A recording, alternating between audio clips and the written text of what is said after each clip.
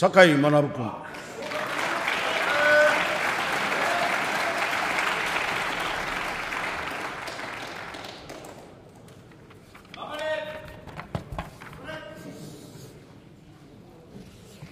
自由民主党の酒井学です。私はただいま自由民主党無所属の会及び公明党を代表し、ただいま議題となりました令和2年度地方財政計画、地方交付税法等の一部を改正する法律案、地方税法等の一部を改正する法律案について、安倍総理及び高市総務大臣に質問をさせていただきます。日本経済は長期にわたる回復を持続させています。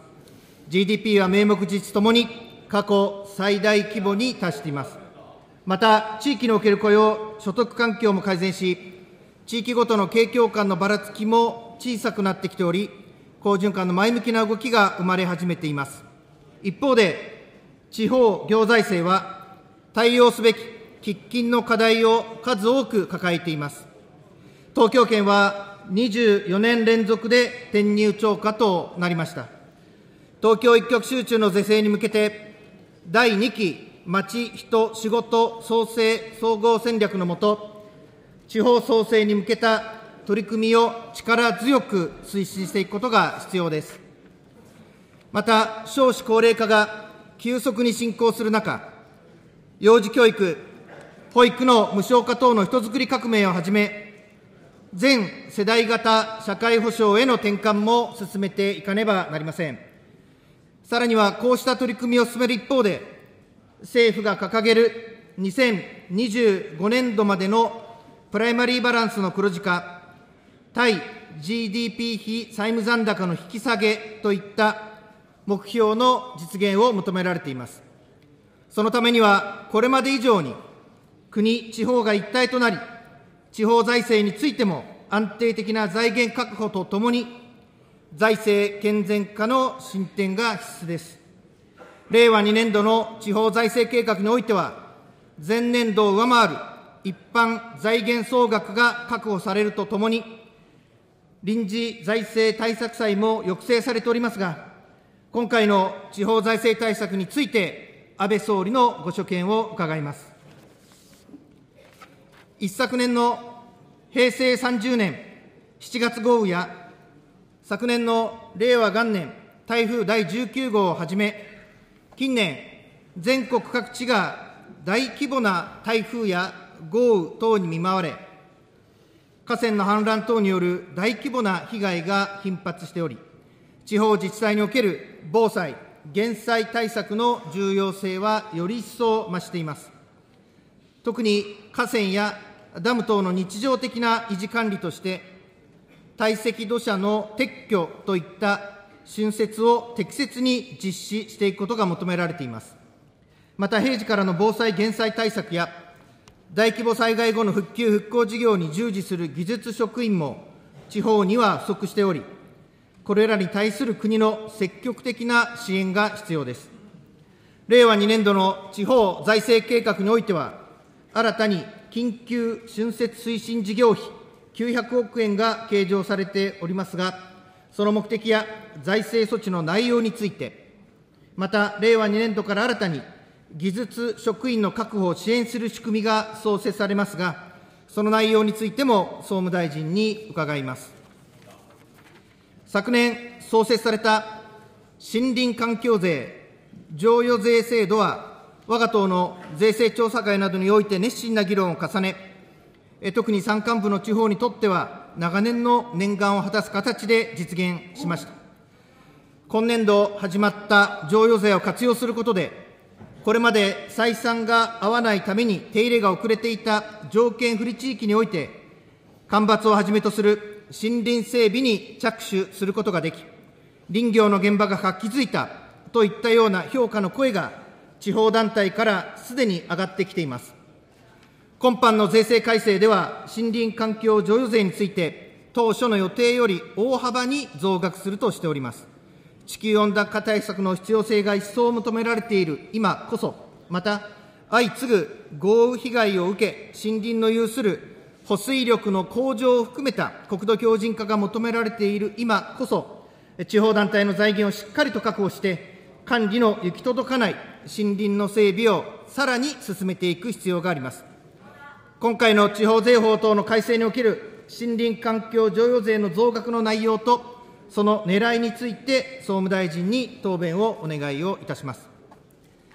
次に、所有者不明土地等への対応について伺います。現在、所有者のわからない土地や家屋に対する固定資産税の課税に関して、いくつかの問題が顕在化してきています。具体的には、納税義務者が死亡した後、相続人が相続登記を行わないと、課税に必要となる所有者の情報を市町村が円滑に取得できない、あるいは土地や家屋が実際に使われているにもかかわらず、調査を尽くしてもなお所有者がわからないために課税できないといった問題が、課税現場である市町村から指摘されており、早急な対応が求められております。今回の地方税法の改正において、これらの所有者不明土地等にかかる固定資産税の課税について、どのような対策を講じられたのか、その概要と趣旨について総務大臣に伺います。最後に、時代の変化に迅速に対応しつつ、地方の活力を支援していく本法案を、令和2年度予算案と合わせ、早期に成立させるべきであると訴え、私の質問を終わります。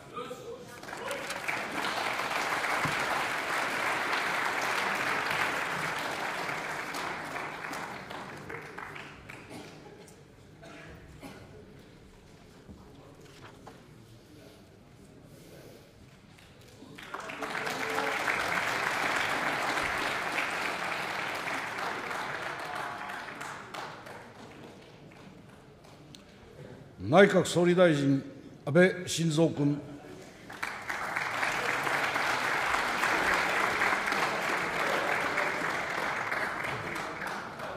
酒井学議員にお答えをいたします。令和2年度地方財政対策についてお尋ねがありました。今回の地方財政対策においては、地方の一般財源総額について、前年度を0.7兆円上回る63.4兆円を確保する中で、地方交付税総額を0.4兆円増額するとともに、臨時財政対策債の発行額を0.1兆円抑制し、地方の一般財源の質も改善しました。このように、国の財政も大変厳しい中にあって、地方が自由に使える財源をしっかりと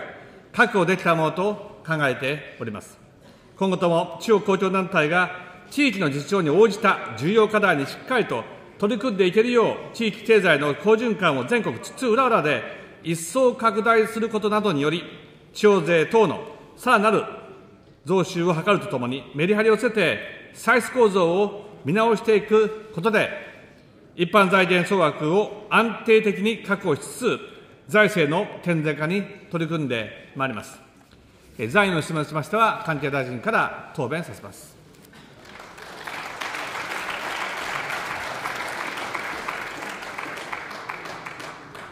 総務大臣、高市早苗君。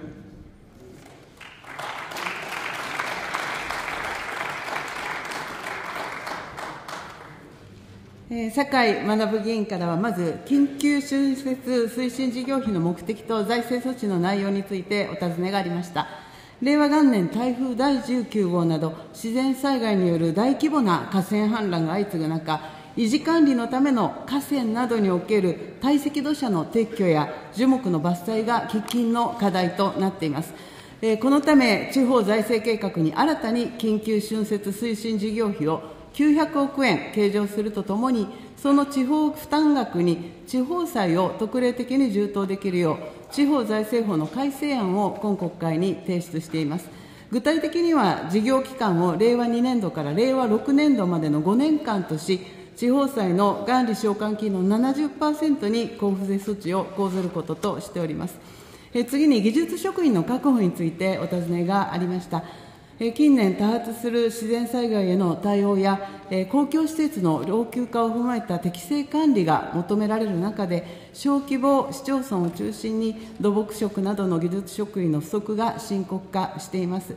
また、大規模災害時において、技術職員の中長期派遣を求めるお声が強いものの、恒常的に不足している状況です。このため、都道府県などが技術職員を増員し、平時には技術職員不足の市町村を支援するとともに、大規模災害時の復旧・復興に必要な中長期派遣要員を確保する場合には、増員された職員人件費に対して、地方財政措置を講ずることとしています。え次に森林環境贈与税についてお話が、お尋ねがありました。え今般の税制改正では、災害防止、国土保全機能強化などの観点から、森林整備を一層促進するため、地方公共団体金融機構の公庫債券金利変動準備金を、令和2年度から令和6年度までの5年間で2300億円活用し、贈与額を前倒しで増額することにしています。これを受け、地方団体が喫緊の課題である森林の整備を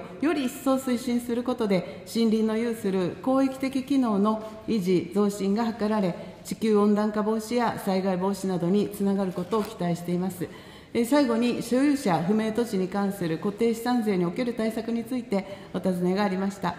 所有者不明土地などへの対応については、現在、政府全体として発生の予防や適正な管理といった観点から、さまざまな取り組みを推進しております。固定資産税の課税に関しても、ご指摘のとおり、納税義務者を特定するための調査に多大な時間と労力を要するといった課題や、使用者がいるにもかかわらず、所有者が特定できず、課税できないといった課題があると認識しております。こうした課題に対処するため、登記簿上の所有者が死亡し、相続登記がなされていない場合、条例で定めるところにより、相続人などの現所有者から氏名などを申告させることができる制度を創設することとしています。また、調査を尽くしても所有者が一人も明らかとならない資産について、使用者がいる場合には、使用者を所有者とみなして、固定資産税を課税できる制度を創設することとしています。これらの制度により、迅速、適正な課税の実現と課税の公平性の確保に努めてまいりたいと考えております。